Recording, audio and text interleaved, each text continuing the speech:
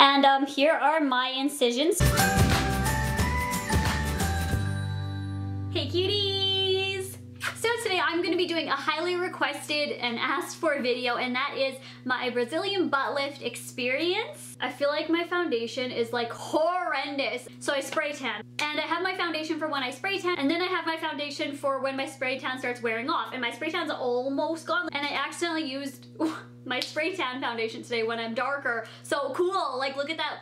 I tried to blend it as much as possible but it's like orange, white, Let's just try to not look at that right now. But now I said it, so that's probably all we're gonna be focusing on cool my life. Now, first of all, before anything, if plastic surgery isn't your thing, then go ahead and click out of this video. Clearly this is a plastic surgery video, so that's what we're gonna be talking about. It still baffles me when people click on a plastic surgery video and be like, I don't support that. Well, why the f did you click it? I am all for people doing them. If it's what makes you happy, then you do it. It's your body. You don't do it for anyone else. Don't do it for a guy. Don't do it because you think you look bad. You're freaking beautiful. I love the way I looked before and I love the way I look now. This candle's ratchet. I made the decision to get Brazilian butt lifts, basically where they take fat out of your unwanted areas and put it in wanted areas that you want. Hips, butt, sometimes even boobs to fill out an area. I wanted a butt for years. If you followed me like two, three years ago, a year ago, six months ago, you guys know that I'm always talking about I want a big butt. That's just what I want. I want a big bum. I love big bums. So my options basically were doing squats, which I did squats for almost an entire year every single day. And it, my legs got really nice. I did have like a nice butt beforehand, but it wasn't a big bum. And that's what I was looking for. And I actually went to see a personal trainer for one session just because there was no progress on my squats. So I'm like, what am I doing wrong? And he told me, you're doing nothing wrong. You just gotta keep working, working, working, working. Just wasn't fast enough for me. I literally did it for an entire year and it got a little bigger and firmer um, and my legs got toned like in my calves, but yeah, congrats for anyone who can do that and get like a nice toned booty from squats. I highly appreciate you. But implant, which do have a lot of complications. I actually talked to a few girls who are on YouTube that do not share their butt implant on YouTube, but I talked to them about it and like friends of friends and stuff and people that do have them. A lot of people just didn't recommend it because it's not that safe and Canada right now is not offering any legal butt implants right now because I'm not sure why. There were some illegal ways like butt injections that people get. They're very cheap. They are illegal. And you have to basically know somebody of somebody to get them done. And just hearing all the scary complications people were getting liquid cement injected into their bums cooking oil like all these scary things. So the last thing that I saw was Brazilian butt lift. And it's a fat transfer. It's the most natural out of them. I'm not saying it's natural, but that's just what it's described as. So I was like looking at my stomach, I'm like, I don't have a big stomach, but this can be my bum now. I just wanted a bum and that's what I was after. So I met up with a surgeon in Toronto. He asked me what I wanted and I said I want a big bum. And he told me straight up, and I really need you guys to listen to this part, Brazilian butt lift is not a butt augmentation procedure. Now I had breast augmentation, which means there's these are augmented into being big. This is not a butt augmentation procedure. This is a body contouring procedure. You're like, you're not gonna get this massive booty, you're just gonna be a little bit more proportionate and kind of have that hourglass figure. So I definitely went for it and it's a little bit more natural, it jiggles because it's your own fat going in there. There's no nothing else in my bum but my own fat that I created in my stomach. How adorable. Please, you guys, do not get plastic surgery because you guys see it looks good or, oh, I want that. It's a huge decision. It's a medical decision. There's recovery. It's expensive. It's a big step. So don't just think that it's like a quick fix to fix yourself. I was doing it because I wanted it for positive reasons. I wasn't saying, oh, I'm gross and ugly and fat, so I'm doing that. Not at all. I'm super happy with the results. And the number one thing I was told by the surgeon is it's not gonna be a huge difference. You're gonna have a little bit more booty and be more shapely, which I definitely have now because I didn't have a whole bunch of fat to put in the bum. Now, before I show you guys the before and after pictures, I'm gonna explain how he explained it to me. Basically, let's just say we have this much fat that's out of your stomach. Now, they can take it out of your thigh, stomach, where I just got it just out of my stomach and love handles, no other place. So basically, he said, let's just say we have this much fat. We have to cut that fat in half and split it into two, one for each cheek and about half of that half will survive. So even though you have all this fat, you cut that in half and cut that in half again, that's what will survive. So I don't have this abundance of fat that's gonna be a huge voluptuous booty, but it will give me something. So that's why some people say like, oh, I don't see a huge difference because it's not a butt augmentation procedure. It's not supposed to be a huge, incredible difference. Some people on the other hand would say, well, then why would you do it? Why would you do that? Because I wanted a booty and all those other ways, ugh, they just seemed like kind of unsafe. Not the squats, but all the other ones, it was just kind of a little bit mm, complications and this had barely any complications so that's why I went for it and it was the most natural. So I'm gonna show you guys the before and after pictures right here. I will not show you guys my bare bum so these are in like underwear and skirts and dresses and stuff like that. You can definitely right off the hop see the shape difference so that when it cuts in on my stomach you can see that it's almost like fills it out so it gives the illusion of a bigger bum. So yes, it's not some crazy huge difference and I knew that from the jump before I went into it, but I definitely am super excited with the results and happy. Basically in like three days, I will be fully recovered. Three months is when you're like fully recovered. So when I got to surgery, I went into the room, checked in, and undressed and put on that little robe or whatever. The nurses are so incredibly sweet and I love them. Then you chill for a little bit and they give you an iPad with Netflix on it and you can watch anything. I watched um, maybe like 30 minutes of Amy Winehouse, Amy, the movie, Amy Winehouse movie called Amy. Love Amy Winehouse, she just calms me down so I'm glad that I could watch that beforehand. And then the nurse came in, gave me like I think seven pills pills and you guys know that I have struggles with taking pills. Like I don't take pills that well. Like I can't even take a full Tylenol.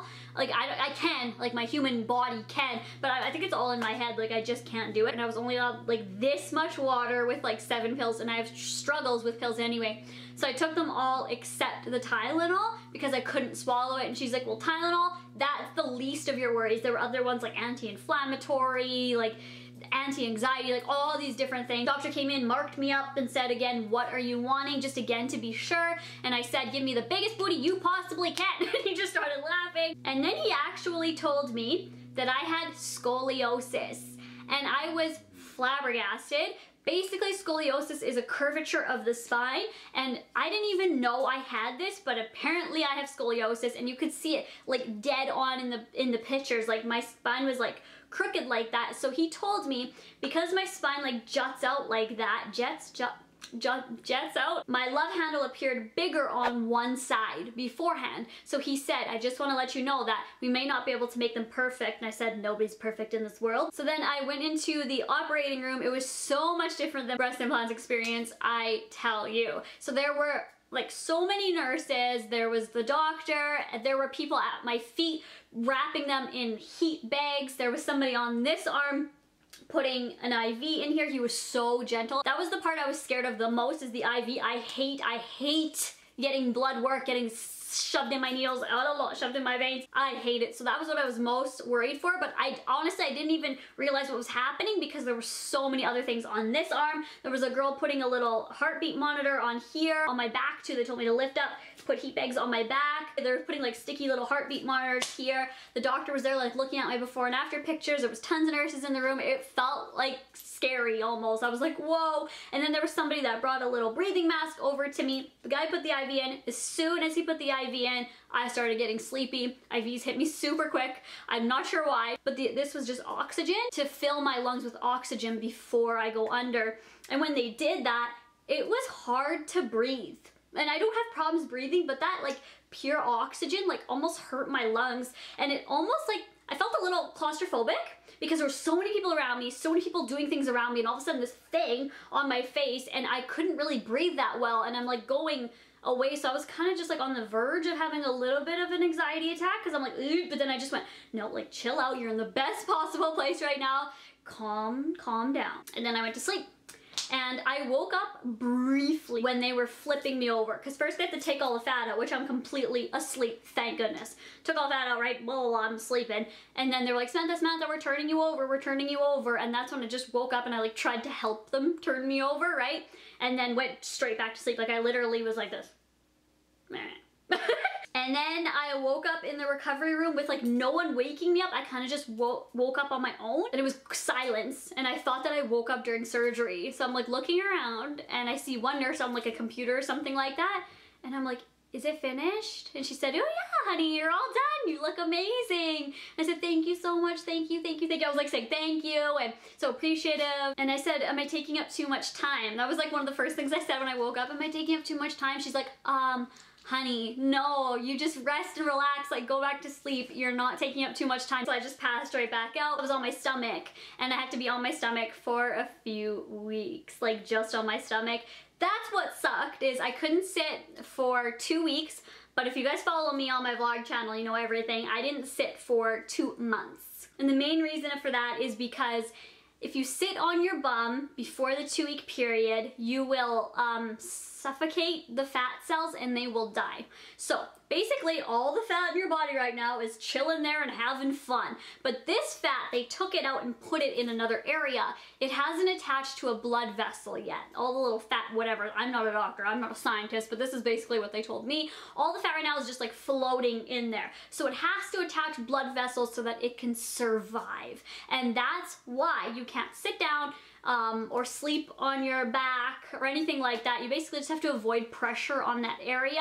I flew there, so for the flight, I had to roll up a towel and put it underneath my thighs so that I was sitting basically on my thighs. In lots of videos in these past few months, I've been sitting on my thighs or standing. I'm now sitting with nothing. Um, it doesn't hurt at all anymore. I would say the worst part was the massages on my stomach because of the liposuction in my stomach. You have to massage those areas so that you do not get lumps. Like if you've seen those like plastic surgery horror stories of the girls or guys that have like lumpy uh, liposuction areas, that's because of either poor liposuction work or not doing your massages after because there's pockets in there. So you have to massage it. That was the most painful thing. Other than that, it was good. When I first got back to the hotel after the surgery, I was leaking pretty bad, which was normal, they told me. It was like fluid. It looked like blood, but it wasn't. But it was like kind of pouring and I had to sleep on these like mats almost, like doggy pads. That's basically what they were because I was leaking so much. The nurse actually came to my hotel room in the morning to check on me and to remove my binder. So here's my binder. This is what I had to wear, month and a half, two months. Anyway, this is it, and it, you just basically put it on your stomach and it compresses you. It reduces the swelling and it helps healing time and it kind of just like keeps you all in there. Um, but she removed this for the first time. Scratch that, this was the worst time of the whole surgery process. When the nurse came in, she's like, Kate, we have to remove your to make sure like you're not, you know, everything's going good. So um, I got up, I said I'm feeling good. It just was a little bit stiff to get up on my bum. My bum didn't hurt. It's almost, it was stiff. It wasn't like pain, it was more like, oh, I've just been sitting for a long time. That's what it felt like, but my stomach hurt. I thought it was gonna be the opposite. That's what everyone else thought too. They were like, oh, your bum's gonna hurt. My bum didn't hurt. so she removed this for the first time and she warned me before she took it off to Dalton, my boyfriend, just be advised to catch her if she does pass out. And I'm like, I'm fine. Like, what? I'm not passing out. Like, I was wide awake, perfectly fine. This was the next morning, and she's like, oh yeah, people just fall over and pass out for the first time, first couple times while removing this binder, because you're sucked in, like with this, when you remove it, it kind of, oh, like relieves you, and the blood flows or whatever, goes to that, I'm not sure, but basically, she said people, like, it's common that people just pass right out, and I'm like, like I just had surgery. I'm not falling on this ground. Like what's going on? So we removed it. I felt great. She said just keep breathing. Did big deep breaths and I did and all of a sudden I felt like I was gonna pass out. I had stars all around me. It was like black and like fuzzy stars and I'm like, ugh, I felt like cold kind of I'm like, oh great and Dalton helped me up right away. That was the worst part. I was like, why am I doing this? Like cool, I paid for this to happen. That took a few minutes to get my thoughts together basically. And then they checked the incisions. Everything is good. I will show you guys my um, incisions. Okay guys so I'm wearing a dress right now but I just put on some shorts so I show, can show you guys my incisions. So this is my stomach right now. We've got no lumps or bumps on there which I'm so incredibly happy for. He didn't want to take all the fat from my stomach so that I still had a little bit of that there because I said like I don't want to be this like stick skinny. That's not what I'm after. I'm after a booty not for the stomach. Like I was happy with my stomach beforehand. My stomach wasn't my issue so I just wanted to mention that. And um, here are my incisions. So I had six um, little incisions in total. The three here were the liposuction. So I will show you those right here like near my hip right there, that little guy, you don't really even notice it until you know you know I point them out. Also, I'm not fully healed. These scars will go down even more dramatically, but that's that one right there. The second one I can't show you on this area right here, but it's like right probably down here. They tried to hide that one so that you can't really see it. And that one, literally you don't see at all. And then the other one, where is it? Here, right there. So it's almost like on my hips right here. This is a tan too, if you're wondering. I got lots of questions. That's that one. And then I have these same ones all on the back. Uh, three, I'm pretty sure, on the back. Two right here, and then one further down, like where my crack is. But the first couple times while removing that, it was horrible. Like, Because Dalton massaged me, which I thank him so much. He was honestly the best nurse I had um, when he would massage it, I would feel like I would have to pass out like every time to the point where like everything would go black and I would just have to like, oh, like put a cold cloth on my head and that was the worst part. Not fun. I just like to be honest with you guys, um, especially if I've had or having work done. I feel like it I owe it to you guys even though a lot of people say like it's your life, you don't owe it to anyone. I feel like I do owe it to you guys to tell you guys what's going on because I hate when I see um, people, celebrities, YouTubers, whatever, um, and then they get this work done that's quite noticeable, like a nose job or a clear butt implant. Like I know for a fact that that's a butt implant, but they're like chilling. I'm like, and everyone's like, oh my god, I love you so much. But then somebody says, hi, I actually got a butt implant. They're like, mmm. I'm like, you like that girl and she has a butt implant. Like what? But just because she didn't say she had it, then it, then it's an issue. I just, I don't, I don't get it. And I don't care really what people will think of it because it's my decision and it's done and I'm so happy with it. So basically the first few days, you will have a lot of fluid buildup on your bum. So your bum will be the biggest it will be the first few days because all of the fat is in there and it's swollen fluid in there. So over the next few days, it will decrease dramatically. That's why the first day I said my butt's huge because my butt was huge the first day, probably double the size it is right now.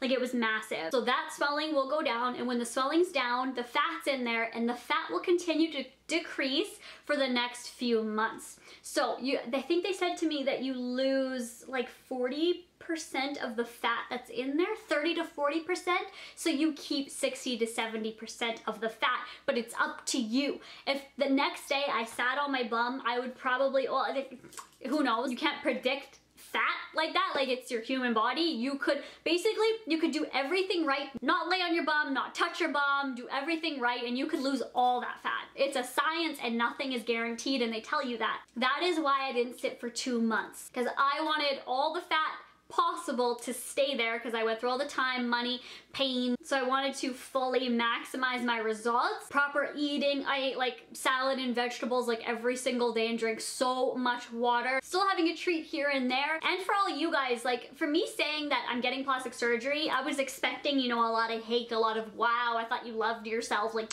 obviously I love myself. I love myself then, I love myself now. Like I was very confident with my body then, I'm very confident now. This was just something that I wanted to do and I can't, couldn't be happier. For all the support, like I could not, I honestly couldn't believe it. Like after surgery, I was like reading comments and Dalton's like, wow, like everyone's so nice to you. Like what's going on? Like usually surgery, plastic surgery, people are kind of, you know, a little bit I love you guys and I want to thank you guys so much and that's just been my mission for the last few months is to be honest with you and to not hide anything from you because when I got my breast implants, I got them done before I even started YouTube. So if you don't like me now that I have plastic surgery, I had these done before I even made a video on YouTube, on this channel. People would ask me like, oh, do you have breast implants? And I just would avoid it. I wouldn't say yes and I didn't say no, I just avoided it. And I felt like that just wasn't the right way to go. I mean, it's my body, I could do whatever I like. I could tell you guys everything, I could tell you nothing, but I just, know now that the right thing to do because you guys like share your life with me and I want to be honest with you. So that's what I did. Those are my only plastic surgery procedures I have right now. Loving yourself comes from within. Being a fake person comes from within. People say like, oh, you're fake. Well, actually my personality, I'm real as hell. And yes, I have a fake ass. But not really, because it's my real fat that I earned by eating cupcakes in Starbucks. Like it's it's my fat, like it's a Starbucks ass. Oh my god, Starbucks ass? That's the best username ever. okay, and that is basically everything. So I hope you guys enjoyed this. This again was super highly requested, so I really wanted to do it for you guys. And I love you all so much. Remember, your bodies are all beautiful. My body's beautiful. My body was beautiful beforehand. Anyone who gets plastic surgery is beautiful. Everyone who doesn't get plastic surgery is beautiful. Like, I just love it all. I love you all. And I love you all. Bye, guys.